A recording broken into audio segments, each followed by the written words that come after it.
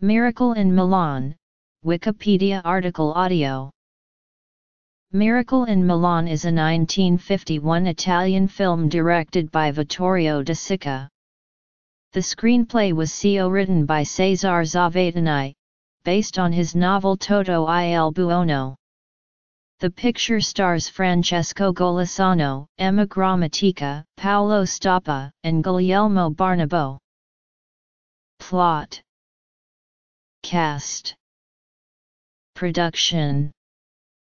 Reception. Critical response. Awards.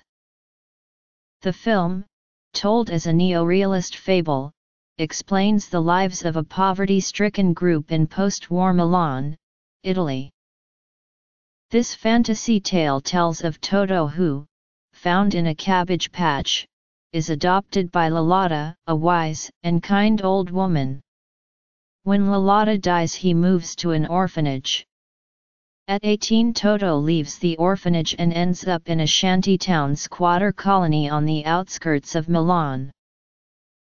Toto's organizational ability learned at the orphanage and his simple kindness and optimistic outlook acquired from Lolotta bring structure to the colony and a sense of happiness and well-being among the dispossessed who live there. Toto is given a magic dove by the ghost of Lolotta and he uses its powers to grant wishes to those who ask.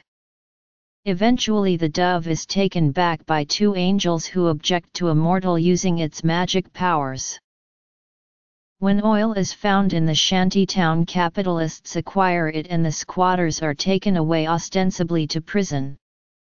On the way, however, the dove is returned to Toto and his wish for the freedom of his friends is granted. They fly away on broomsticks borrowed from the street sweepers in Milan's central square and circle around the cathedral and then away, towards a land where good morning really means good morning. Vittorio De Sica wrote that he made the film in order to show how the common man can exist given the realities of life. It is true that my people have already attained happiness after their own fashion, precisely because they are destitute. These people still feel, as the majority of ordinary men perhaps no longer do, the living warmth of a ray of winter sunshine, the simple poetry of the wind. They greet water with the same pure joy as Saint Francis did. The Milan Cathedral serves as a focal location in the film, and can also be viewed as symbolic of the miracle to which the film's title refers. American special effects specialist Ned Mann was hired for the film. The picture would be Mann's final project. Vittorio De Sica, in neo-realist fashion, used both professional and non-professional actors. The film premiered in Italy on February 8, 1951. Later it was presented at the Cannes Film Festival in April 1951. In the United States it opened wide on December 17, 1951.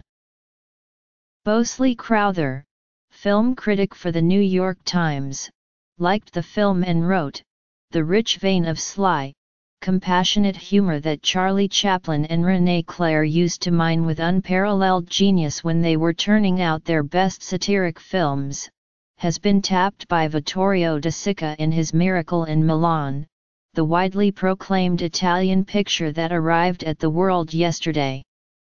And although this uncommon vein of fancy is away from De Sica's previous line, the great director has brought up from his digging a liberal return of purest gold.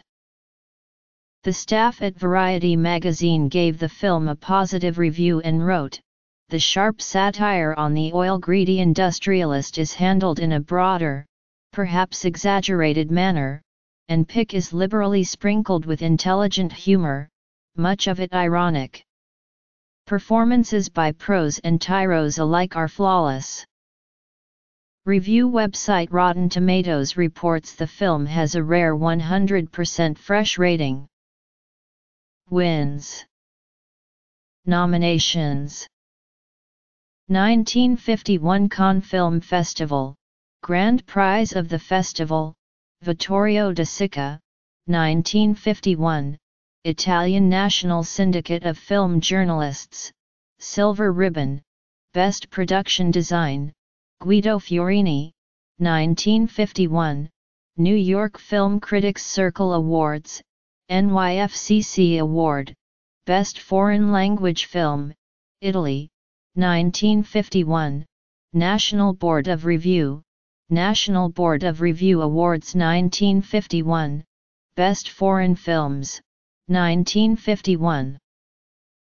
British Academy of Film and Television Arts, BAFTA Film Award, Best Film from Any Source, Italy, Best Foreign Actor, Francesco Golisano, Italy, 1952.